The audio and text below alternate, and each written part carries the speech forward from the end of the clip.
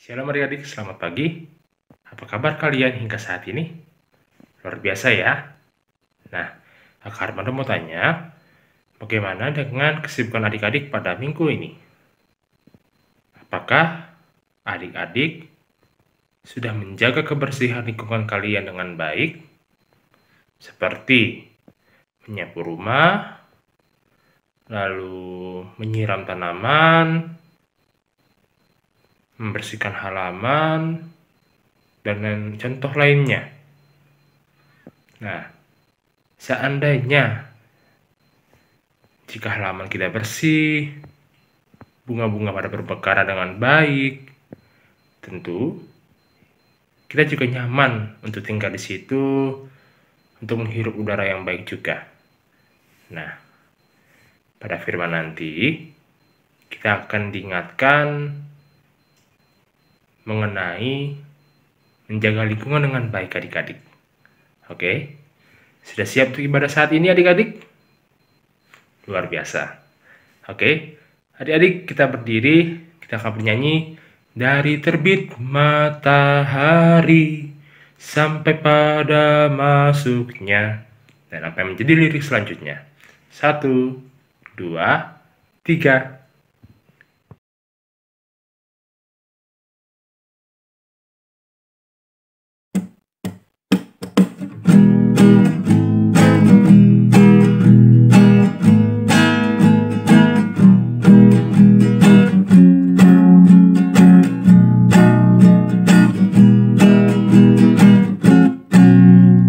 Terbit matahari sampai pada masuknya.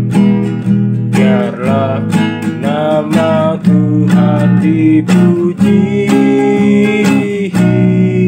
Dari terbit matahari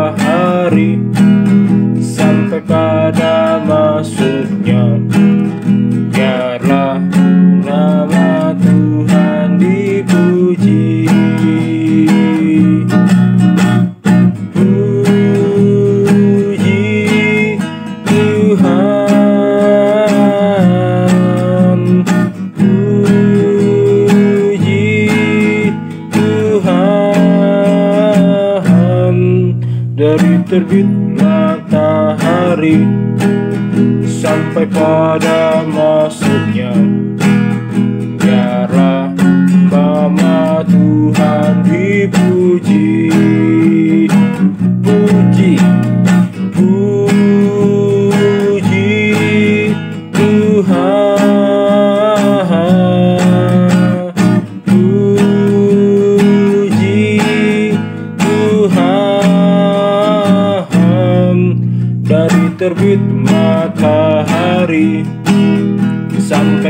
Pada masuknya. Biarlah nama Tuhan dipuji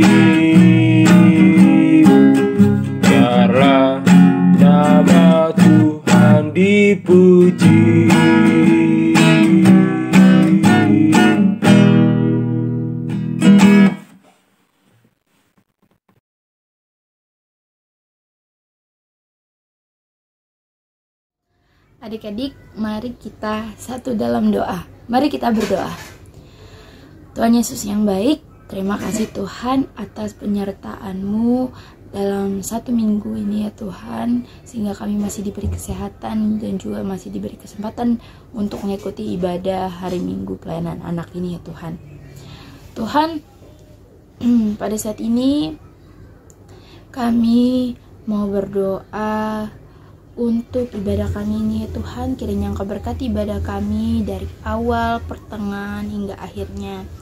Dan juga Tuhan sebentar lagi kami ingin eh, membaca dan mendengarkan sedikit dari firman-Mu ya Tuhan. Kiranya apa yang nanti disampaikan oleh kakak Layan dapat kami eh, terima dan dapat kami lakukan dalam kehidupan kami hari lepas hari. Tolong kami Tuhan Eh, inilah doa kami dalam namamu kami sudah berdoa dan mengucap syukur amin Nah, saatnya kita akan memasuki pemberitaan firman Tuhan. Mari adik-adik, kita akan menyanyikan pujian dari Kidung Ceria nomor 349 Semua yang tercipta, hai alam semesta. Dan apa yang menjadi lirik selanjutnya? Sudah siap? Satu, dua, tiga. Semua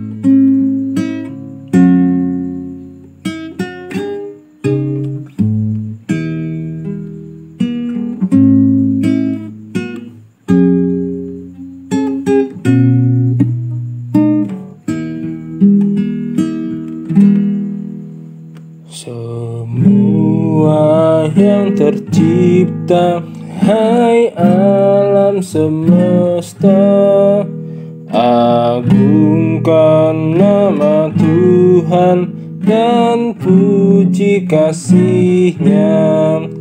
Matahari, bulan, lintang Burung-burung, ikan-ikan Seluruh marga satwa di gunung dan lembah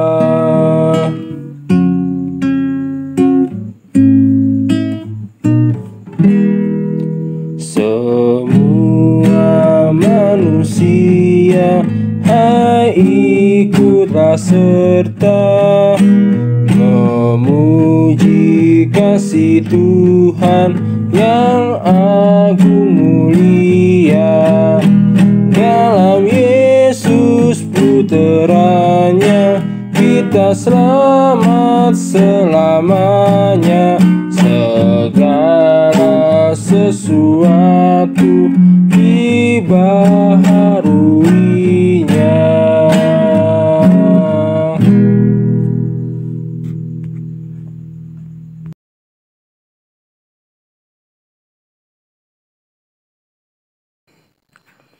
Mari adik-adik, kita buka bacaan kita dari Mazmur 104 ayat yang pertama hingga ayat yang kelima. Mazmur 104 ayat yang pertama hingga ayat yang kelima. Kak Armando akan membacakannya bagi adik-adik sekalian. Diberi judul Kebesaran Tuhan dalam segala ciptaannya. Pujilah Tuhan, hai jiwaku.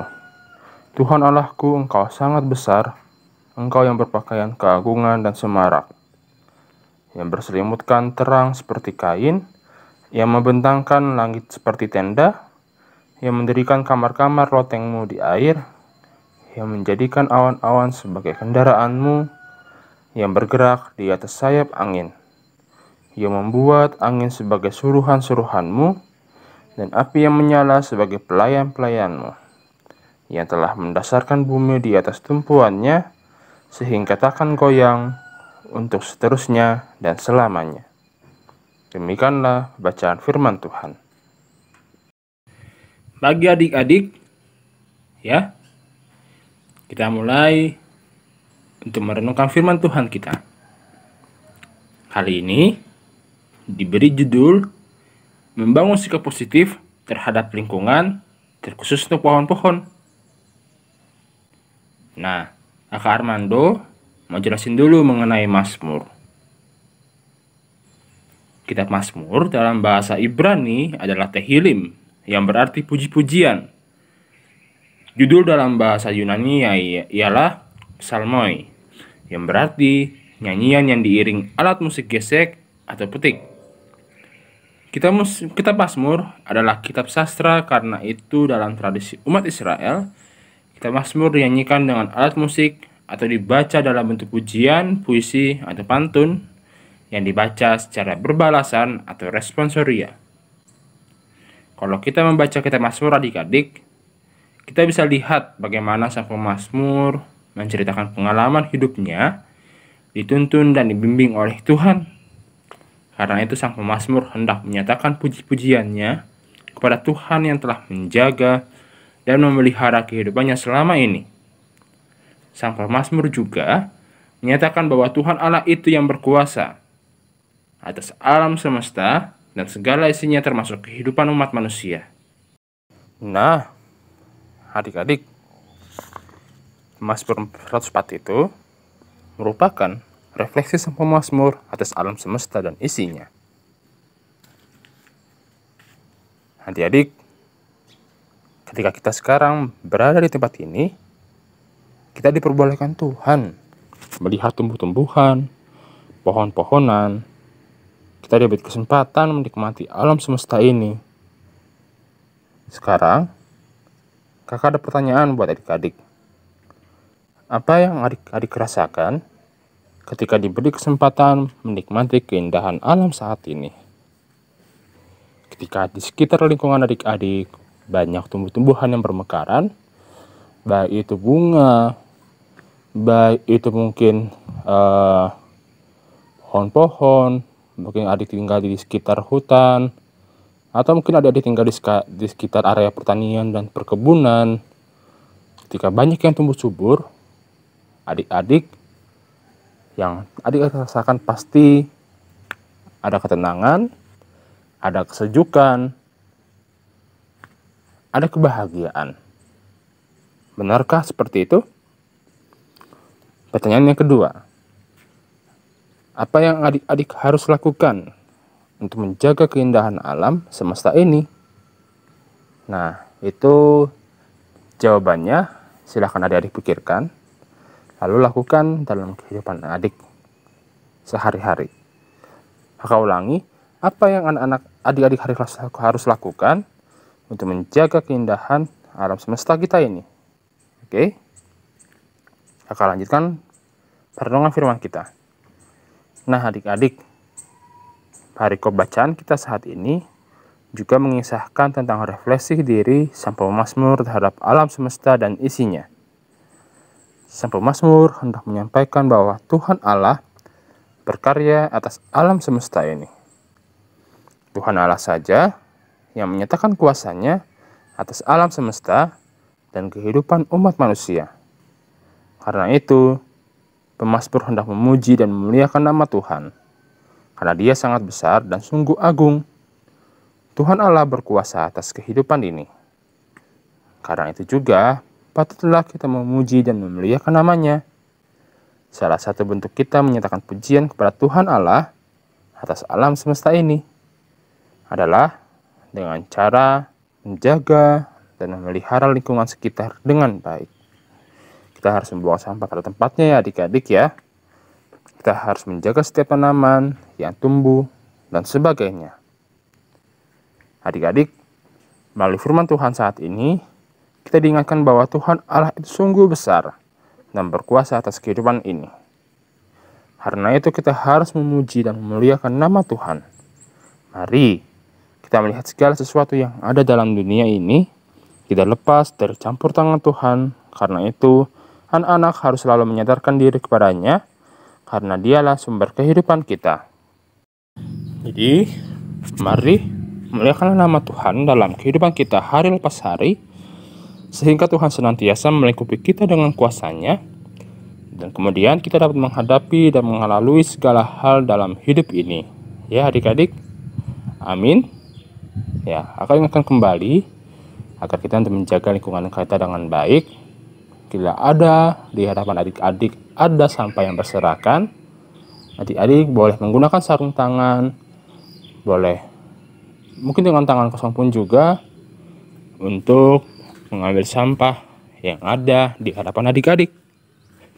Bila adik-adik di dalam mobil, adik-adik boleh menahan diri untuk tidak membuang sampah sembarangan mungkin bisa ditaruh di kantong baju atau kantong celana. Kemudian ketika tiba di tujuan, adik-adik bisa membuang sampah dengan tepat pada tempatnya, ya, sehingga tidak mencemari lingkungan, tidak membahayakan orang-orang sekitar adik-adik juga, ya.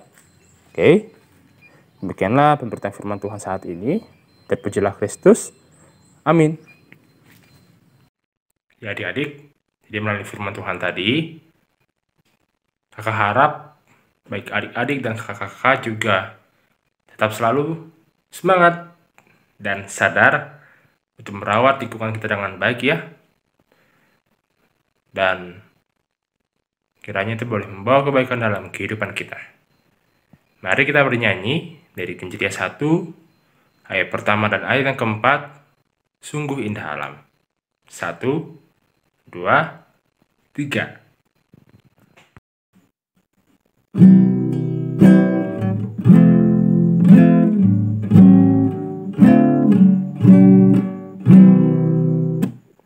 Sungguh indah alam ciptaan Tuhan Hewan burung ikan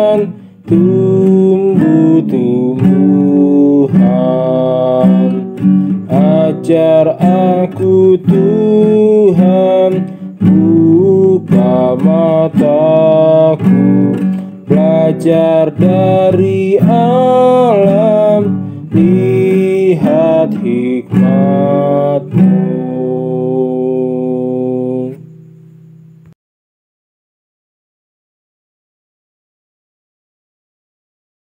Baiklah adik-adik, saatnya doa syafaat. Untuk itu mari kita bersatu di dalam doa.